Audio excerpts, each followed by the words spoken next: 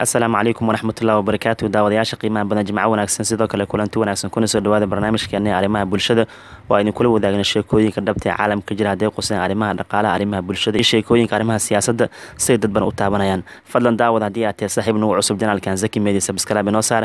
Saaxiibada joogtada nagu xira muuqaalka noo sheergareeya waxaa mar koowaad ku bilaabanaa daawadayaasha qiimaha badan gabar diida inay qaadato laal covid nteen taasoo keentay ugu dambeynta inay weyso shaqo afar iyo toban san lagu yaqaanay. Saaxiibada qiimaha badan kiiskan wuxuu quseeyaa dowladda u k ayaa ku dhawaaqday laga bilaabo koo iyo tobankii bisha novembar aan ka soo gudubnay ama afar labaatan saaca ka hor dhammaan shaqaalaha dowladda u k inay waajib ku tahay qaadashada talaal covid nteen qofkii aanan qaadanin shaqada laga joojin doono. Saa darteed gabadha lagu magacaabo lucy akister oo dabcan shaqadeeda ay tahay in xanaanay dadka waaweyn ayaa shaqada laga joojiyay kadib markii talaal covid nteen ay qaadan waasay gabadha lagu magacaabo lucy akister waa soddon iyo lix jir waxay ku caanbaxday afar iyo tobanka sane ugu dambeysay inay dadka waayeelka xanaaneyso ama daryeesho waxayna ka mid tahay shaqaalaha dowladda u k kuwaas oo dabcan waqti adag ku soo shaqeeya gaar ahaan saddexdii sane ugu dambeysay oo ay dabcan ka shaqeynayso guriga loo yaqaan alderson house oo lagu xanaanay dadka waayeelka ee kuna yaal xaafadda ama deegaanka magaalada hool daawadayaasha qiimaha badan gabadhan waxay sheegtay sagaal iyo tobankii bilood. Ugu dambeysay inay qabato shaqo adag maadaama xanuun covid nteen ama koronaha uu ku dhacay dadka waayeelka eh dhibaato gaar u geystay. Har iyo habeen u soo jeeda inay daryeesho dadka duqowda oo covid nteen uu ku dhacay. Saa darteed gabadhan shaqo adag ay qabata laakiin sidaasay tahay bulshada iyadoo dabcan aqoonsigaas ka yeesha. Haddana waxaa laga joojiyay shaqada maadaama ay diida qaadashada talaal covid nteen gabadha lagu magacaabo lucy waxay tiraahday toddobaadkii saddex jeer ayaa laga baaraa covid nteen sidoo kale waxaan raacaa shuruucda badqabka koronaha balse waxay tiraahday waxaan diiday inaan qaato talaal covid nteen saa darteed dowladda u k bay igu gardarootay inay shaqada iga joojiso maadaama aan raaca shuruucda covid nteen waxay tiraahday qasab maha talaalka inaan qaato. Lucy qandaraaska shaqadeed haatan waa la kansalay sidoo kale daawadayaasha ama dadka u k siyaabo kala duwan ay kaga hadleen sida shabakada caanka the mirror ee daabaceyso dadka qaarkood waxay leeyiin gabadhan haddii u hogaansa shuruucda covid nteen oo toddobaadka saddex jeer covid nteen laga baaro waxay ahayd shaqada in loo dhaafo. Halka dadka qaarkood ay leeyiin lucy waa qof lagu daydo waxay ahayd talaal covid nteen inay qaatid si dabcan bulshaweynta u k ugu daydaa marka gabadhan shaqada laga joojiyay siyaabo kala duwan ayaa looga falcelishay. Sida guud markii la fiiriya daawadayash qama dunida inteeda kale talaalka covid nteen way jirta caqabado ku aadanay.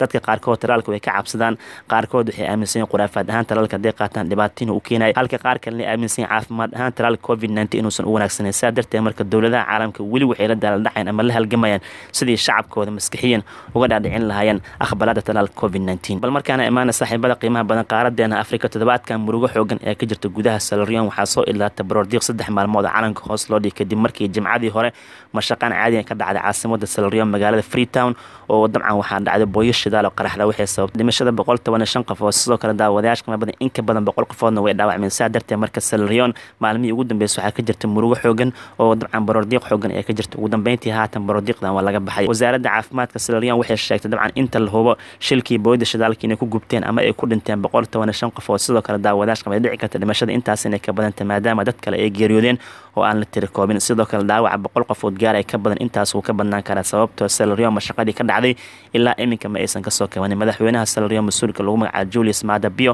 wuxuu sheegay dabcan dalkiisa khasaare lixaadle inuu gaaro. Sidoo kale la garab istaagi doono shacabkii dabcan dhibaatada xoogan soo gaartay dowladan ee kaalmo dhaqaala siin doonta qoysaskii ay ka baxeen dadkooda iyo kuwa haatan. Dhaawac ah ee qaraxii jimcadii hore dhacay dhibaatada u geystay. Daawadayaasha qiimaha badan sida ay shaaca ka qaad dowladda salarion qaraxa wuxuu ka dhacay bar control oo ku taal dhankaasi freetown oo caasimada salarion ku taala weliba waxaa la sheegay in gaari yar nooca raaxada uu ku dhacay booyadii shidaalka waday. Kadibna meesha waxaa ka dhashay dab xoogan weliba goobta waxayd goob saxmad badan oo ku yaalla maqaayado kaalin shidaal iyo soo kale baara lagu nasto. Waana sababta keentay khasaaraha inuu bato. Sidoo kalena waxaa la sheegay booyadii shidaalkeed markuu gaari yar ku dhacay oo shidaalka dhulka ku daadanay dadka qaarkood waxay sameeyeen waxay soo qaateen weel ama weelal soo qaateen si ay shidaalka ugu shubtaan taasoo dabcan keentay khasaare inuu bato. Oo sababtee dabcan sidii shidaalka loo guranaya waxaa dhacda hal mar dab xoogan meeshan ka kaco taasoo keentay khasaaraha dhimashada inay gaarto boqol toban iyo shan qofood sidoo kale dabcan intii ku dhacmay boqol qofood ay gaarayeen sidoo kale nasiib dara daawadayaasha qiimaha badan qolyaha gurmadka dabcan caafimaadka qaabilsan iyo damdamiska way soo daaheen. Oo markii ay goobta soo gaareen dad badan waxaa nafsadooda galaaftay dabkii meesha ka kacay oo dabcan ayagoo nool ayay gubteen. Saaxiibada qiimaha badan dowladda salarion waxaa dabcan lagu dhaleeceeyey in dabcan booliiska meesha aysan joogin. Sidoo kale dadka aysan kala dhacdeen. Markii ay shidaal ka dadka booyadii shidaal ka taasoo keentay wel inay soo qaataan ay ku shubtaan. Haddii ay meesha joogi lahayn booliiska dadkay kala dhacdeen lahayn sidoo kale khasaarihii qarax uu sababana in badan wuu yaraan lahay marka aragtidiina ka dhiibta salarion mashaqadii ka dhacday dadkii dabcan dhibaatada gaartay iyo sidoo kale qarax markuu dhacay qolyaha gurmadka inay ka soo daaheen bal markaana soo qaadana daawadayaasha qiimo badan nin afartan sano ku nool koronto la'aan iyo sidoo kale daawadayaasha qimada biyo nadiif inuusan cabin ayaa toddobaadkan dabcan la soo bandhigay sida ay shaaca ka qaada b b c ninka lagu magacaaba ken smith muddo afartan sana wuxuu ku noolyahay nolol dabcan caadi ka baxsan sababtoo ninkan wax korantana ma adeegsado biyo nadiifna ma cabo wuxuuna ku noolyahay dabcan dhulka buuraleyda ee dhankaas scotland ku yaalo wuxuu dhahay ninka lagu magacaaba ken smith tani waa nolol wanaagsan. Sidoo kale wuxuu sheegay inuu ku faraxsan yahay keligiis inuu dabcan ku noolyahay dhankaasi marka la fiirsho dhulka buuraleyda aan la gaari karin ee scotland ku yaalo inkastoo ninkan toddobaatan afar jir uu yahay haddana ken wuxuu ku noolyahay nolol adag sababtoo shaqo walba asigaa qabto. Haddii ay noqon lahayd dharkiisa inuu gacanta ku dhaqdo kalluun inuu biyaha kala soo baxo sidoo kale markii la fiirsho xaabada ama qoryaha dabcan raashin korsadan asigaa soo aroorsada marka ninkan asigoo toddobaatan afar jir ah haddana waa hard worker. Wadayaasha qiimaha badan inta badan dadka socotada ah ee dabcan dhulka miyiga scotland maraan gaar ahaan buraleyda ninkan aqoon ballaaran ay u leeyihiin waxayna u baxsheen ninkii keligiis noolaa ee dunida casriga gadaal iska mariyay filim sameeyaha lagu magacaabo lizy macnisi ayaa qofkii ugu horreeyay ee dabcan boqda kiin halka uu ku noolay wuxuu ka sameeyey film documentary ah oo dhowaan la daawan doono. Ninkan lagu magacaabo kiin wuxuu sheegay in dabcan asigoo shan iyo toban jir ah uu bilaabo shaqooyinka nolosha caadiga ah wuxuuna markaas ka shaqayn jiray dhismaha damdamiska qaabilsan. Laakiin noloshiisa waxay isbedeshay asigoo lix iyo labaatan jir ah kadib markii qolyo gaangis ama burcad ah si xun u jirdileen taasoo keentay dabcan dhibaato xoogan inuu galay xilli habeen ah. Maskaxda ayaa dhibaato ka soo gaartay. In ka badan muddo saddex iyo labaatan maalmood wuxuu ku jira koomo ama wax miirma uusan lahayn. Kiin wuxuu sheegay dadka qaarkood inay dhaheen ninkan dib dambe uma socon doono. Sidoo kale qaar kale waxay dhaheen ninkan ma hadli doono. Qaarkood kalena waxay dhaheen ninkan dabcan weligiis wax dambe qabsan doono. Laakiin nolosha ma uusan ka quusanin wuxuu bilaabay in noloshiisa keli ahaan isku tiirsanaada. Markii dambe ninkan wuxuu u guuray dhulka buuraleyda ee si dabcan noloshiis keligiis ugu noolaada. Afartanka sana ee ugu dambeysa wuxuu ku noolaa nolol adag.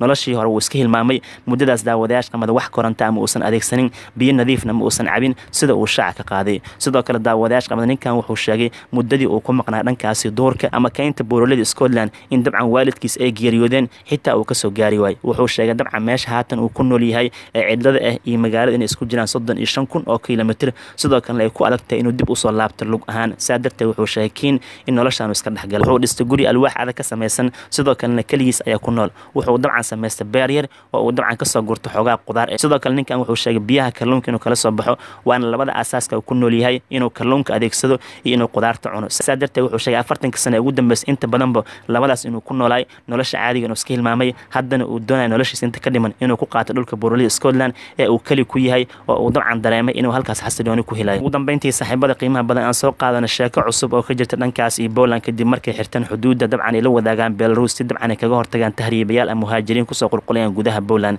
Daawadayaasha qiimada dowladda poland waxay shaaca ka qaaday gebi ahaanba inay xirtay xadka ay la leedahay ama ay la wadaagto dalka ee dariskiina belarus kadib markii boqolaal muhaajiriin ee gudaha poland soo galeen ayagoo dhanka belarus ka imaanayaan wuxuuna hadafkooda iyo dabcan boolishka inay ka sii tagaan si ay dabcan u gaaraan jarmalka iyo yurubta inteeda kale gaar ahaan galbeedka yurub iyo soo kale waqooyiga yurub. Sida warbaahinta caalamka ay sheegaysa dowladda poland haatan waxay geeyeen laba iyo toban kun oo askar ama ciidan ayay geeyeen xuduudda ay la wadaagaan belarus si ay kaga hortagaan dabcan kumanaan muhaajiriin ah oo gudaha belarus soo gaareen si ay dabcan kaga soo tilaabaan xadka poland kadib yurub inteeda kale ugu sii gudbaan.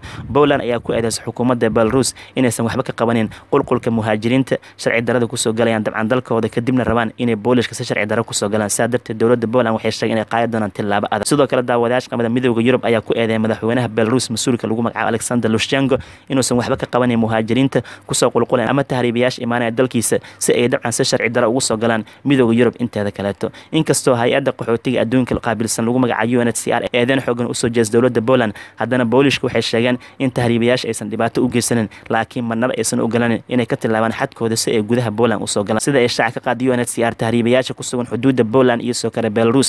Waxay haysta dhibaato xoogan oo ku aadane in qaarkood aysan haysanin hooy sidoo kale qaarkood ma haystaan raashiin waxaa ku dhacda nafaqa daro sidoo kaletana waxay haatan ku sugayeen meel qabow ah waxaa la sheegay kumanaan kun oo dabcan tahriibayaal in dowladda belarus ay u diiday gadaal inay u laabtaan. Sidoo kalena boolishka waxay u diideen xadka inay ka tilaabaan u n h c r daawadayaasha qabada waxay leedahay kumanaan kun oo muhaajiriin ayaa ku sugan caasimada miniski ee dhankaasi belarus kuwaas oo rabaan inay midooda yurub soo galaan. Laakiin waxay leeyihiin haatan dhibaato xoogan ayaa jirta maadaama boolishka ciidan fara badan ay keeneen xadka oo dabcan tahriibayaasha dhibaato xoogan loo geysanayo warbixintan waxaa lagu sheegay dabcan boolishka inay noqda marin cusub ama wado cusub oo ay doonayaan tahriibayaasha inay ka galaan yurubta galbeed sababta waxaa lee waxaa soo xirmay marinkii caanka ahay griig ilaa macedonia oo dabcan inta badan laga geli jiray yurubta galbeed marka boolishka waxay diidayn inay noqdaan marin cusub weliba waxaa lee muhaajiriinta ama tahriibayaashan inta badan waxay ka imaanayaan dalalka afghanistan syria ciraaq iyo sidoo kale dalalka qaarkood ee qaaradda afrika ayay ka imaanayaan. Marka aragtidiina ka dhiibta dhibaatada muhaajiriinta ku haysta dhankaasi marka la fiirsha u dhexeeya poland iyo belarus. Saaxiibada qiimaha bada guud ahaan barnaamijkan arrimaha bulshada oo aan ku soo qaadana toddobaadkan sheekooyin kala duwan. Intaasaan ku soo celinaynaa fadlan daawad haddii aad tahay saaxiib nagu cusub janaalkan sabskraaib inoo saar. Saaxiibada joogtada noogu xiran muuqaalka noo sheergareeya waa ku mahadsantihiin daawashadiina asalaamu calaykum waraxmatullahi wabarakaatu